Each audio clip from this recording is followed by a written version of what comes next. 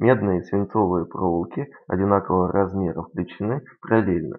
В какой из них сила тока больше? Во сколько раз? Для начала запишем дано. Так как нам известны материалы, мы можем найти из таблицы удельное сопротивление меди и удельное сопротивление свинца.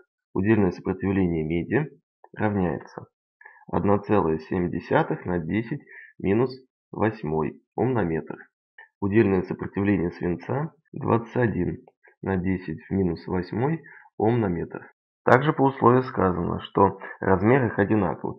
Следовательно, площадь поперечного сечения меди равняется площади поперечного сечения свинца, и все это будет равняться S.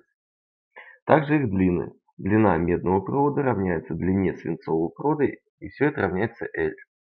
Найти соотношение силы тока меди к силе тока свинца. Сделаем схематический рисунок. Так как это у нас соединение параллельное, следовательно напряжение на сопротивлениях будет одинаковое.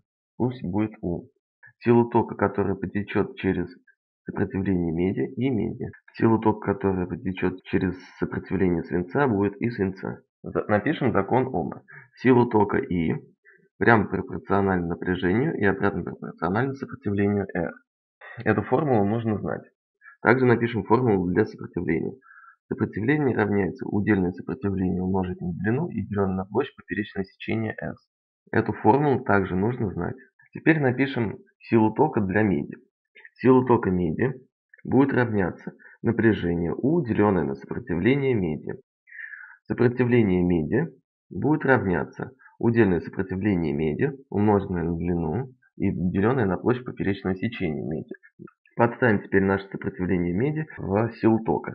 Тогда получается сила тока меди будет равняться напряжение, деленное на удельное сопротивление меди, умноженное на длину и деленное на площадь поперечного сечения меди.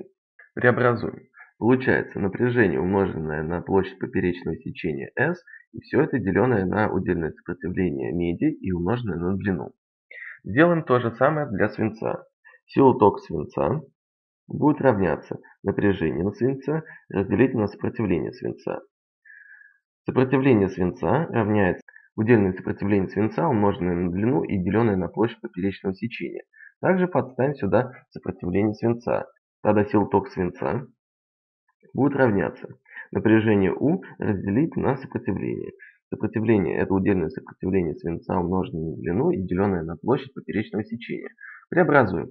Получается напряжение, умноженное на площадь поперечного сечения свинца и деленное на удельное сопротивление свинца, умноженное на длину. Разделим силу тока меди на силу тока свинца. Получается напряжение U умноженное на площадь поперечного сечения, деленное на удельное сопротивление меди, умноженное на длину.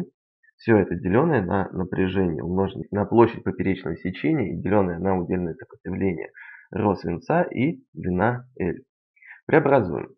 Получается напряжение U умножить на площадь поперечного сечения S умноженное на удельное сопротивление свинца и умноженное на длину деленное все на удельное сопротивление меди, умноженное на длину меди, умноженное на напряжение и на площадь поперечного сечения.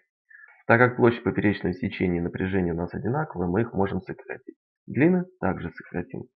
И получается удельное сопротивление свинца, деленное на удельное сопротивление меди. Подставим сюда наше значение. Тогда получается, что силу тока меди, деленное на силу тока свинца, посчитав, получаем 12. Запишем ответ. Сила тока меди на силу тока свинца равняется 12. Отсюда следует, что сила тока, которая потечет через сопротивление, сделанное из меди, в 12 раз больше, чем сила тока через сопротивление свинца. Задача решена. Спасибо за внимание. Не забывайте подписываться на наш канал и ставить большие пальцы вверх.